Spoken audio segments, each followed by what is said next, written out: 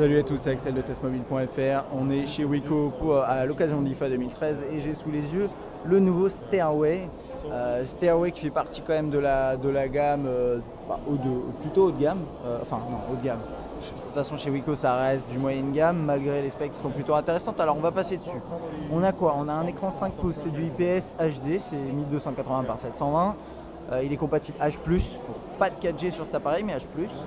On a Android 4.2.1, un processeur quad-core 1,2 GHz, 13 mégapixels au niveau de l'optique et 5 mégapixels à l'avant, plutôt intéressant si vous voulez prendre des, euh, petites photos avec la caméra frontale. On a 16, 16 Go de mémoire interne avec possibilité de rajouter jusqu'à 32 en plus via micro SD. 1 Go de RAM, euh, c'est du Gorilla Glass au niveau de l'écran et c'est à peu près tout ce que j'ai. J'ai pas sous les yeux la capacité de la batterie. Euh, on le mettra dans. On, voit, on verra vers l'article des spécifications sur Test Mobile. Je pense qu'on en a, euh, je pense qu'on en a euh, parlé. Ok. Alors, ce terminal, il sera disponible à peu près autour de 250-280 euros dans ces eaux-là. En fait, on n'a pas encore, pour l'instant, on a une fourchette de prix, mais ce sera à peu près ça. Hein. Imaginez ce, genre de, ce genre de tarif.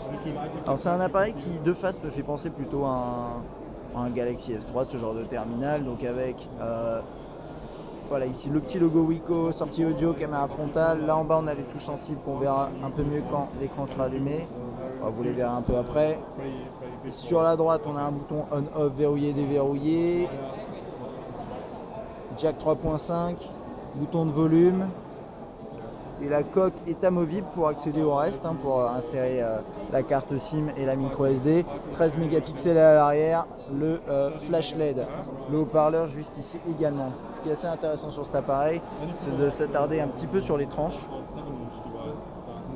Et si on devait s'amuser un petit peu, on ferait ça.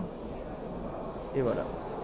Donc, euh, oui, il n'y a pas grand chose à dire, c'est juste que c'est un petit peu inspiré quoi. Mais euh, moi ça me dérange pas, je trouve ça joli euh, et, on va dire que c'est plutôt une bonne chose. Alors passons hop, à l'interface. Comme d'habitude chez Wico, c'est plutôt du Android assez brut, hein, vous allez voir. Voilà, là vous avez euh, ce tiroir là qui permet d'accéder aux différentes données.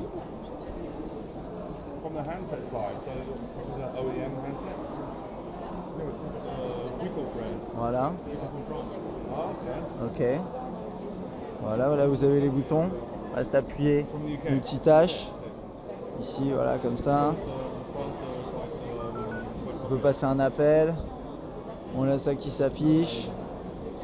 Navigateur web, etc. On va pas forcément s'attarder trop là-dessus. Après, c'est vrai que chez Wico, on a des produits au design euh, parfois un petit peu euh, qui manque d'originalité, mais de plus en plus, enfin les produits sont un peu plus intéressants je trouve, par exemple notamment ce, Stairway. Et ce qui est surtout intéressant c'est le prix par rapport au spec. Et là moi je trouve que la qualité de fabrication est plutôt bonne.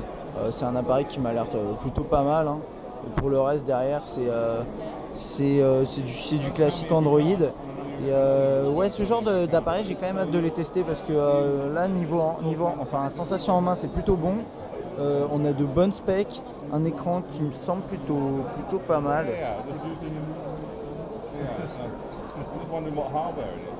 Voilà. Donc euh, bon, bah, à voir lors d'un test. En tout cas, ça c'était pour notre petite prise en main du Wico Stairway. Voilà, à bientôt.